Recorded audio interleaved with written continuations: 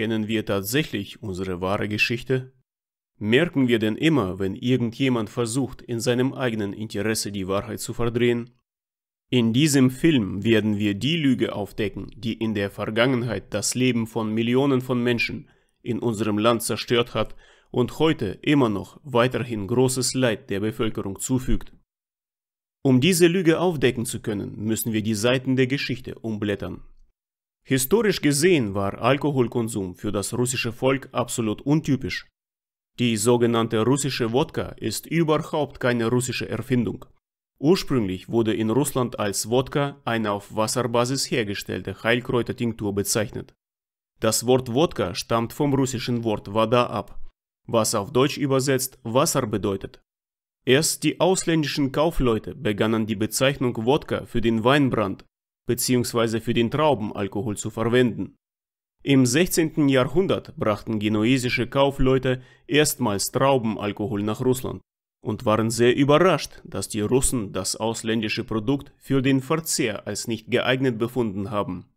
Um ihre Alkoholware in einem nüchternen Land verkaufen zu können, haben die ausländischen Kaufleute angefangen, den Alkohol unter dem Deckmantel einer Heilkräutertinktur zu verkaufen. Zu dieser Zeit lebte Russland im Gegensatz zum westlichen Europa komplett nüchtern. Getrunken wurde sehr selten und wenn, dann nur Naturprodukte wie Honigtrunk oder Brottrunk, bei denen der Alkoholgehalt maximal 2 bis 3 Prozent betrug. So sprach der berühmte polnische Reisende Samuel Maskiewicz damals über Russland. Die Moskauer halten eine streng nüchterne Lebensweise ein. Daran müssen sich sowohl die Adligen als auch das einfache Volk halten. Säufertum ist kategorisch verboten, nirgendwo kann man weder Wein noch Bier kaufen. So manch einer versuchte seine Weinfässer sogar in den Öfen zu verstecken, aber auch diese Schuldigen wurden irgendwann überführt.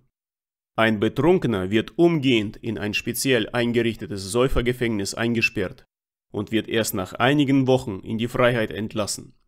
Wenn jemand zum wiederholten Mal beim Saufen erwischt wird, dann kommt er für eine sehr lange Zeit ins Gefängnis. Anschließend wird er durch die Straßen geführt und gnadenlos ausgepeitscht, bis ihm die Lust zum Alkohol vergeht. Bis zum Beginn des 18. Jahrhunderts wurde Alkohol an das einfache Volk nur in Tavernen verkauft, von denen es nur eine pro Stadt gab. Das Trinken von Alkohol galt unter den Menschen als beschämend.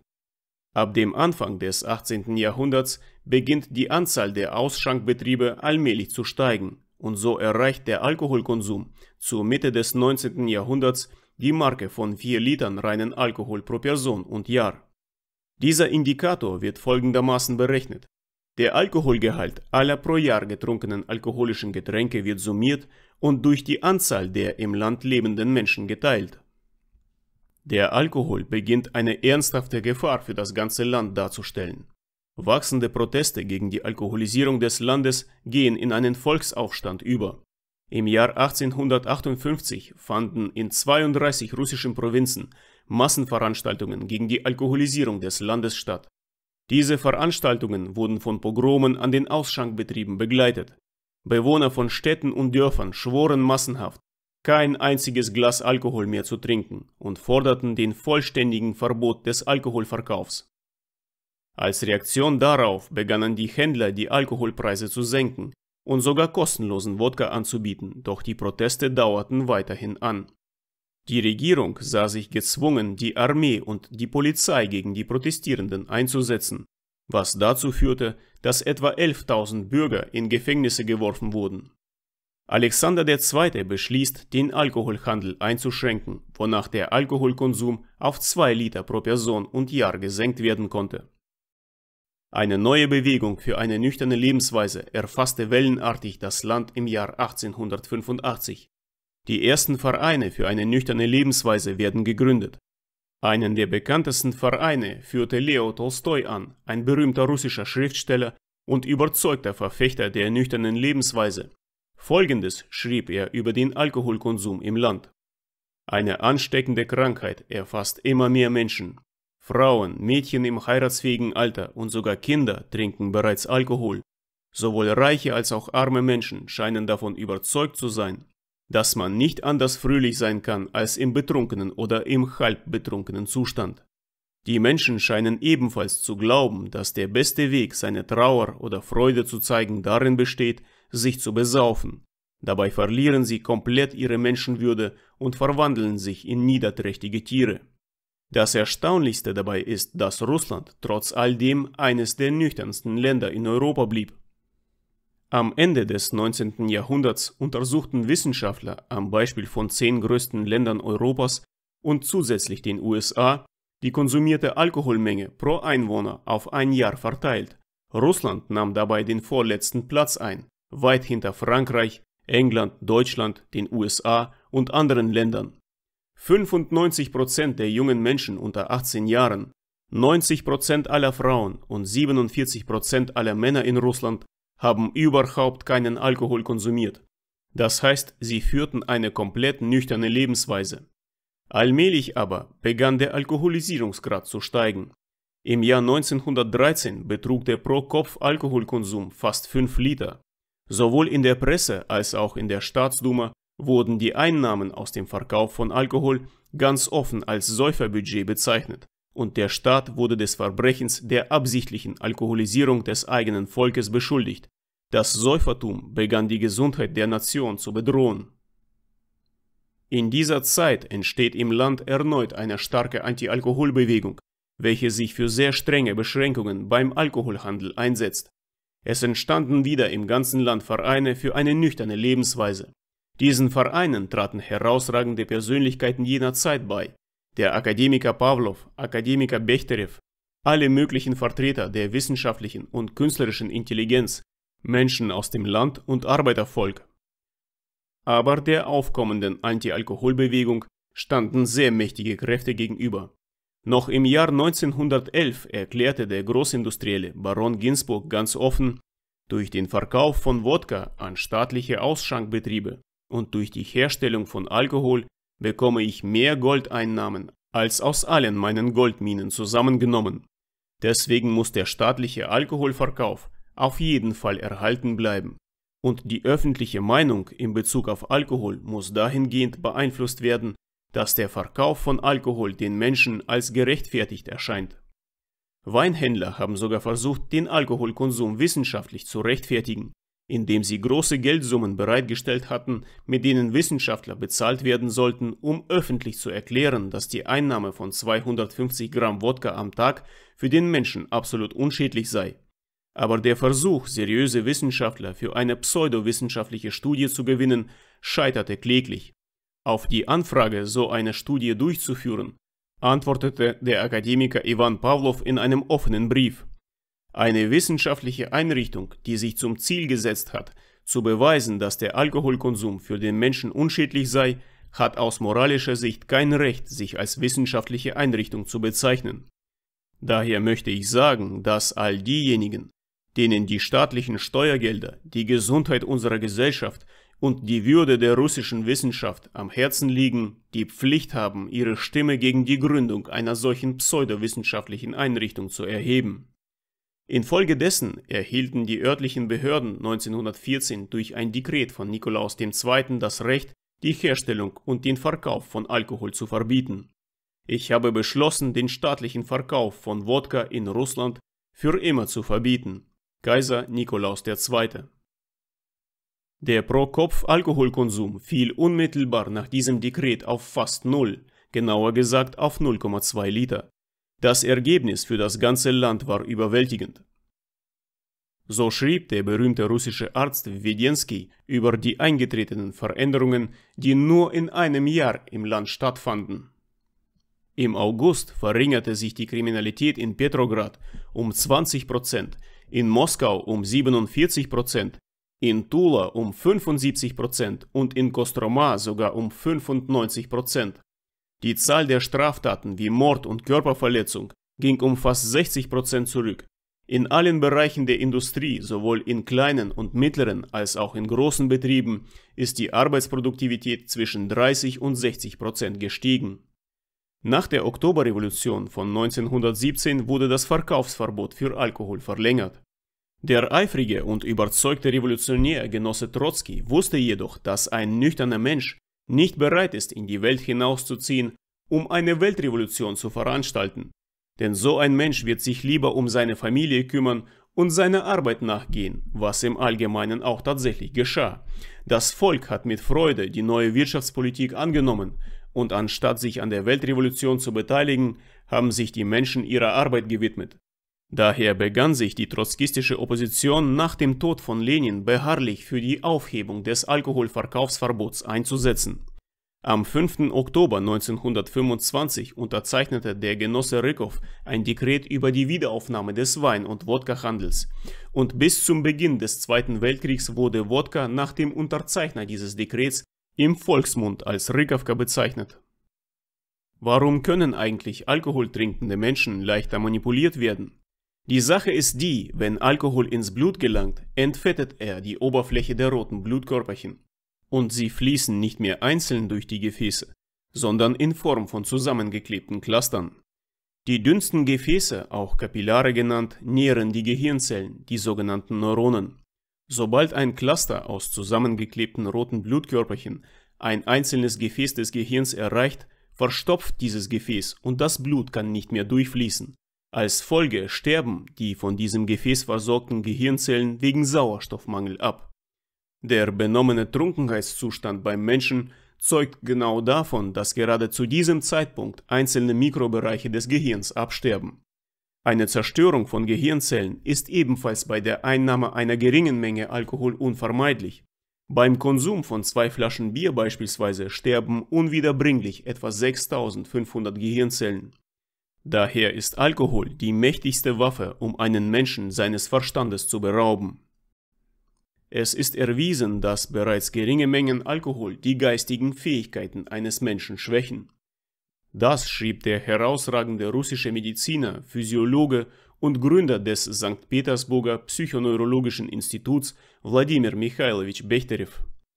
Bis zum Vorkriegsjahr 1940 war der Pro-Kopf-Alkoholkonsum auf 2 Liter angestiegen und während des großen Vaterländischen Krieges fiel der Alkoholkonsum wieder unter die Marke von einem Liter. Das nüchterne Jahrzehnt der Prohibition in Russland hat der nachkommenden Generation einen großen Dienst erwiesen. Während der Kriegsjahre konnten sowjetische Soldaten unglaubliche Schwierigkeiten und Entbehrungen ertragen und waren gesünder und leistungsfähiger als ihre Gegner. Der Mythos darüber, dass sowjetische Soldaten angeblich sich ihren Mut mit den sogenannten 100 Gramm Frontwodka vor einem Angriff angetrunken haben, wurde nach dem Krieg im Ausland erfunden, um den Heldentum und die Selbstlosigkeit unseres Volkes herabzuwürdigen. Der Krieg wurde von einer gesunden Generation gewonnen, die in einem nüchternen Russland geboren wurde. Folgendes schrieb der als Held der Sowjetunion ausgezeichnete Armeegeneral Nikolai Grigorjewitsch Ляschenko. Verblendete Dichter der Nachkriegszeit nannten diese verräterischen 100 Gramm Wodka als mutmachende Dosis. Eine größere Blasphemie kann man sich kaum vorstellen, denn objektiv gesehen hätte Alkohol die Kampffähigkeit der Roten Armee erheblich gemindert. In den 50er Jahren blieb Russland eines der nüchternsten Länder Europas. Ein sowjetischer Bürger konsumierte umgerechnet auf reinen Spiritus dreimal weniger Alkohol als ein Engländer, siebenmal weniger als ein Amerikaner und zehnmal weniger als ein Franzose. Woher kommt also das heutige Säufertum? 1964 übernahm Leonid Ilyich Brezhnev das Amt des Generalsekretärs des KPDSU-Zentralkomitees.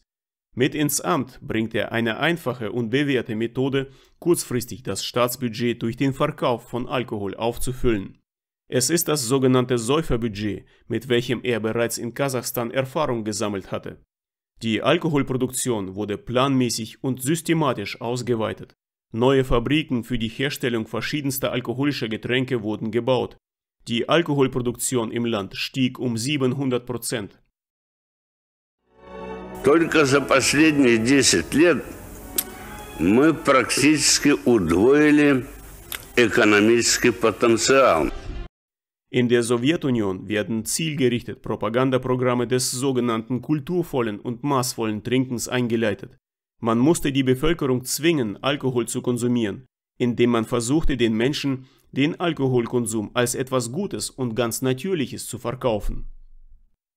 Die etablierte sowjetische Propagandamaschinerie beginnt planmäßig und systematisch damit, Kinofilme mit Szenen des Alkoholkonsums zu füllen und trichtert dabei den Menschen komplett neue Verhaltensweisen ein.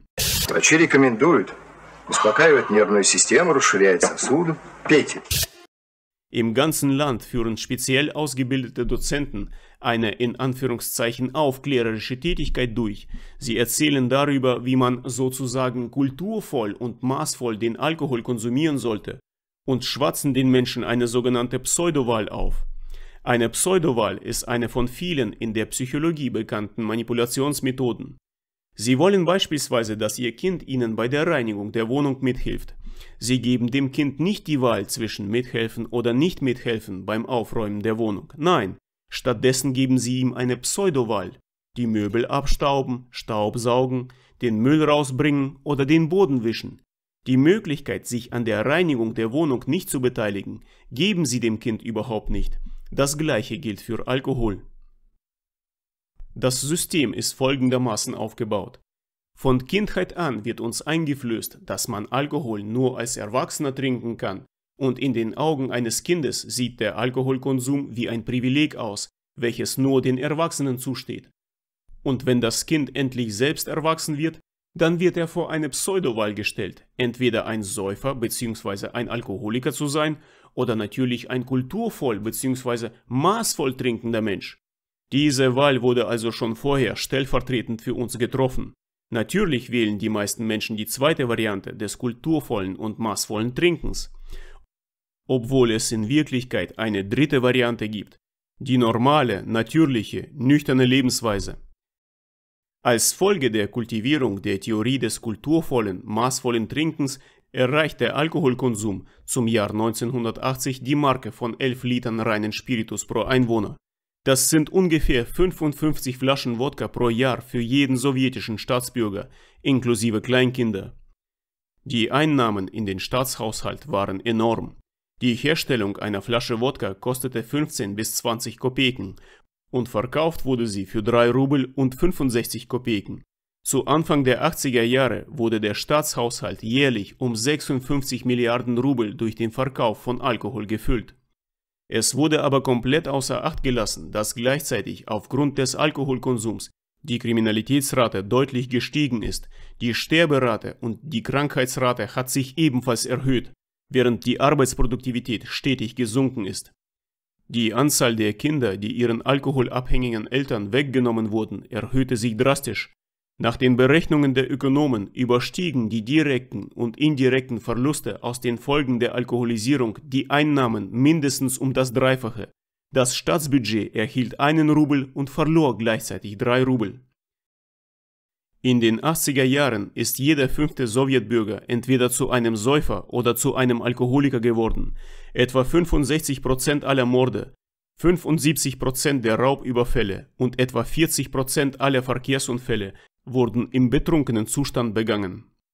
Zur selben Zeit hat sich herausgestellt, dass 3,5% aller Kinder mit schweren körperlichen und geistigen Behinderungen geboren wurden.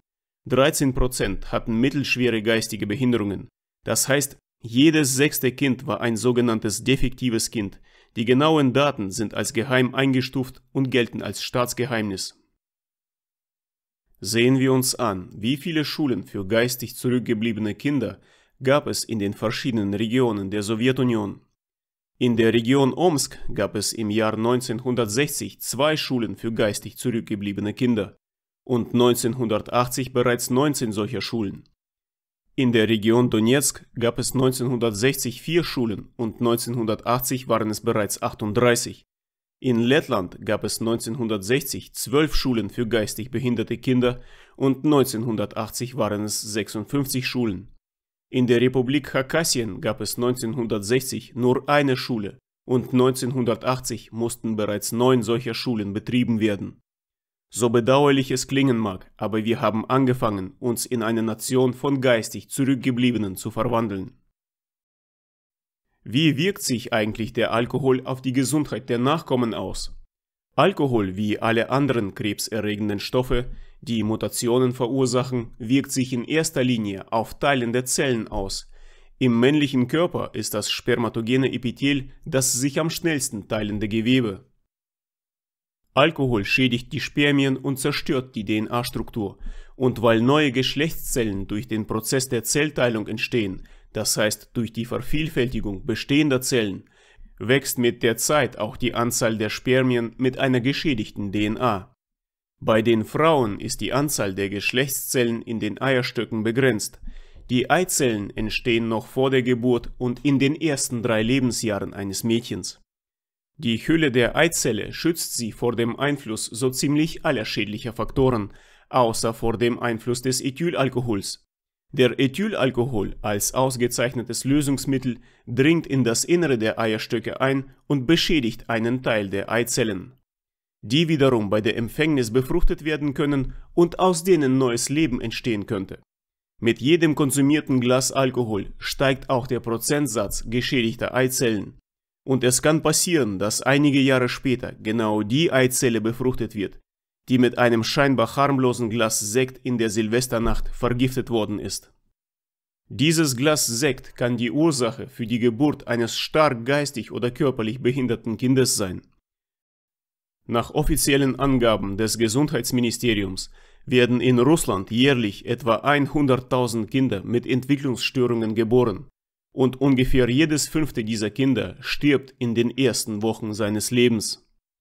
In der Vergangenheit wussten die Menschen über die Wirkung von Alkohol sehr gut Bescheid.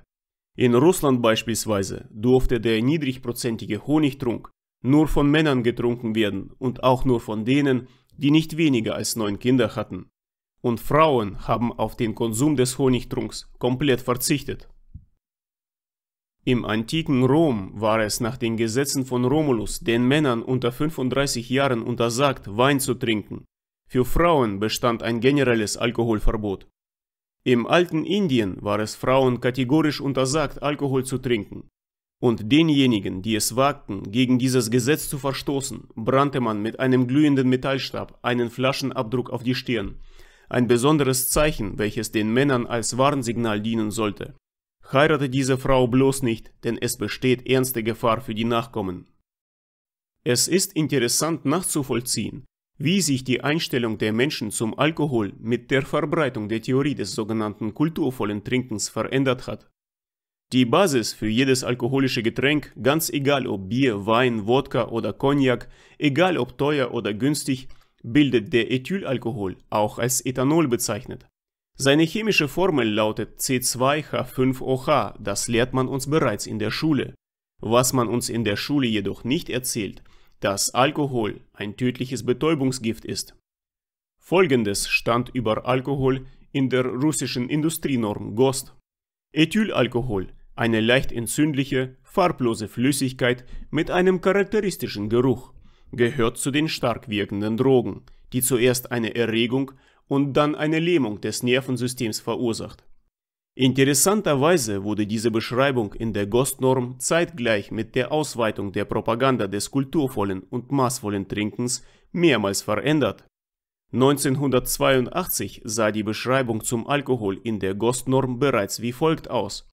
Ethylalkohol ist eine entzündliche, farblose Flüssigkeit mit einem charakteristischen Geruch, gehört zu den stark wirkenden Drogen.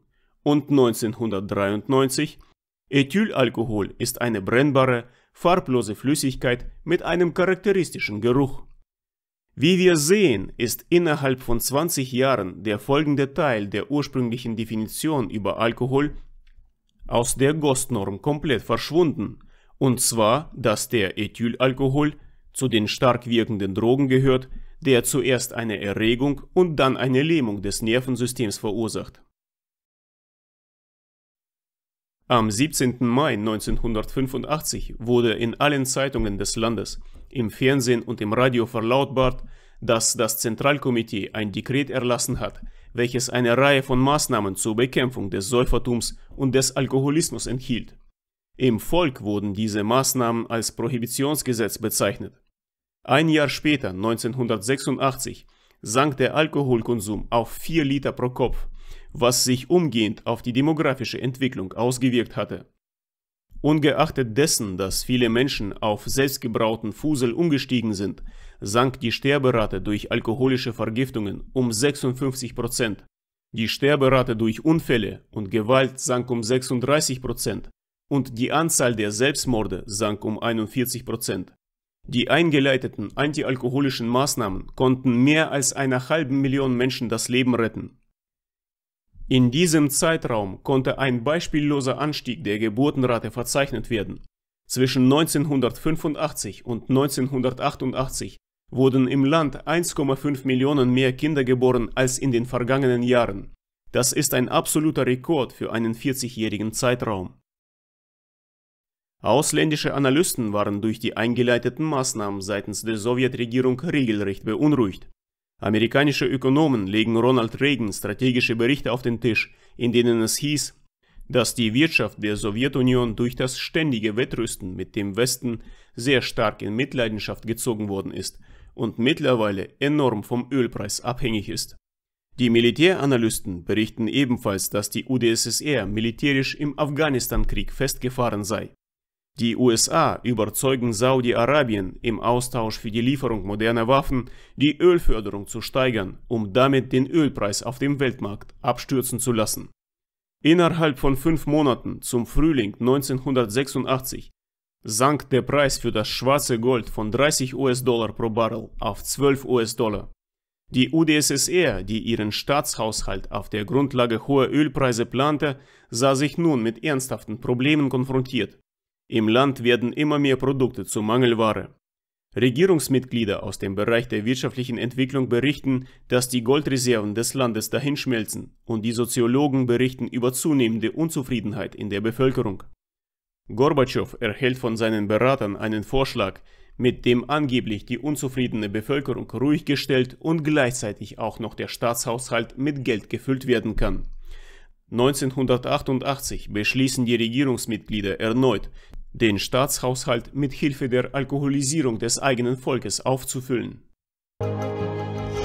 Я прекращаю свою деятельность на посту президента СССР. Принимаю это решение по принципиальным соображениям. Nach der Umsetzung des Plans für den Zusammenbruch der Sowjetunion durch ausländische Geheimdienste und mit der Machtübernahme Jelzins wurden dem betrunkenen Volk durch betrügerische Privatisierungsmaßnahmen die wichtigsten staatlichen Vermögenswerte unter der Nase entzogen. Die staatlichen alkoholproduzierenden Betriebe sind ebenfalls in Privatbesitz übergegangen. Die Lebensmittelgeschäfte und das Zentralfernsehen wurden erneut mit Alkohol überflutet. Filme und TV-Serien waren gefüllt mit Szenen des Alkoholkonsums. Diese Lebensweise wurde den Menschen als etwas Traditionelles und ganz Normales eingetrichtert. 1996 erreichte der Pro-Kopf-Alkoholkonsum alleine laut der offiziellen Statistik bereits 16 Liter. Das Land wurde mit Millionen von Straßenkindern überschwemmt. Das waren alles Kinder, die vor ihren alkoholsüchtigen Eltern geflüchtet waren. Eine noch größere Anzahl von Kindern wurde von ihren Eltern einfach vernachlässigt. Die alkoholsaufenden Eltern hatten einfach andere Dinge im Kopf, als sich um ihre eigenen Kinder zu kümmern. Die durchschnittliche Lebenserwartung der Männer sank auf 57 Jahre. In 90% aller Sterbefälle bei Männern unter 50 Jahren war Alkohol die Todesursache.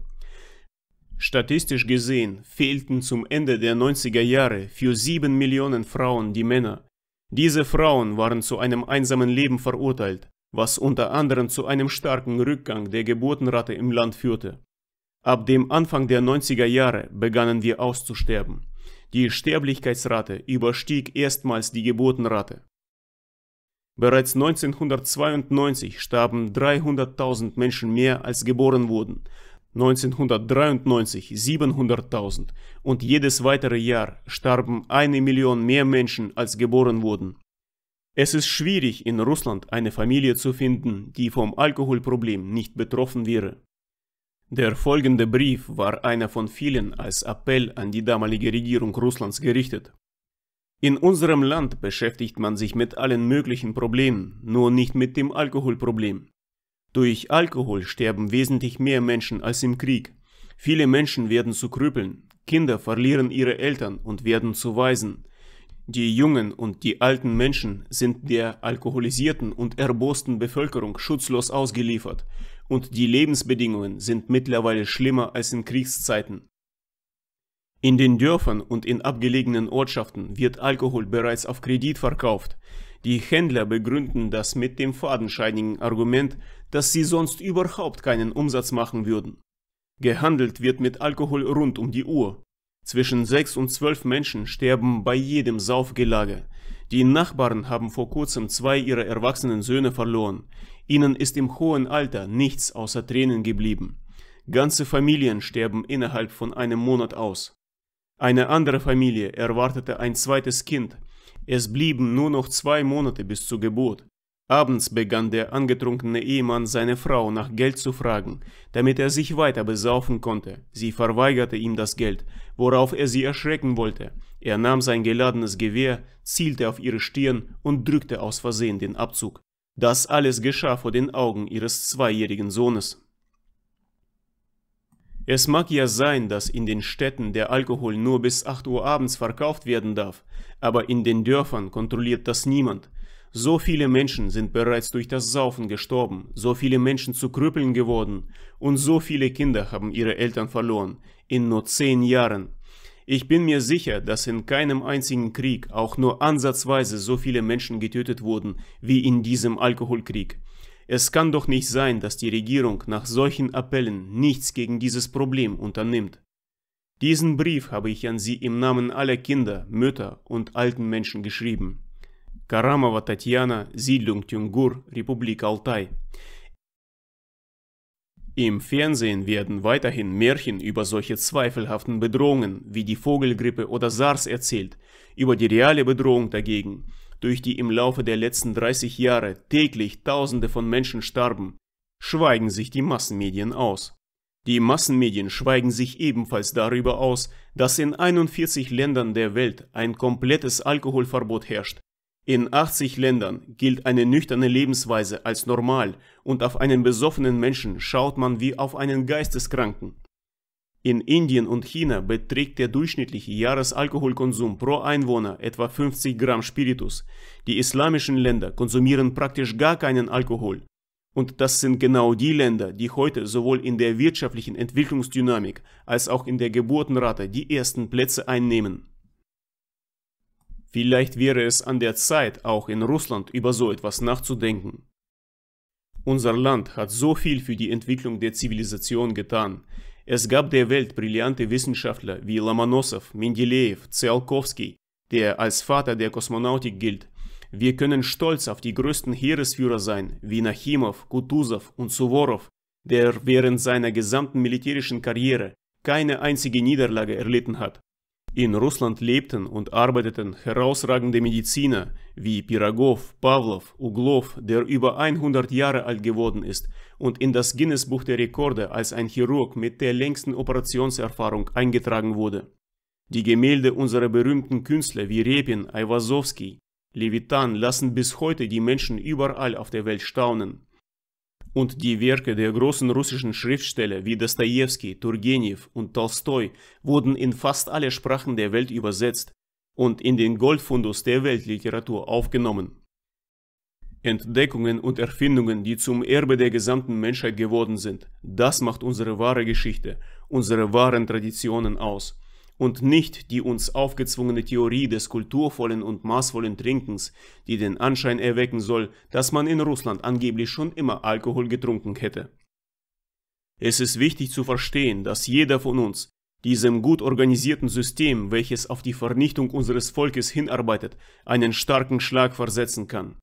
Indem wir uns für eine nüchterne Lebensweise entscheiden, stoppen wir den Geldfluss zur Finanzierung dieses tödlichen Alkoholfließbandes. Mit unserer nüchternen Lebensweise hören wir auf, etwas zu unterstützen, was unsere Gesundheit, unser Schicksal und das Wohlergehen unserer Kinder zerstört. Das ist unsere Gelegenheit, der heranwachsenden Generation ein richtiges Beispiel zu geben. Ein wirklich würdiges Leben zu führen, gefüllt mit aufrichtigen, herzlichen Beziehungen, Fürsorge, Freundschaft und wahrer Liebe.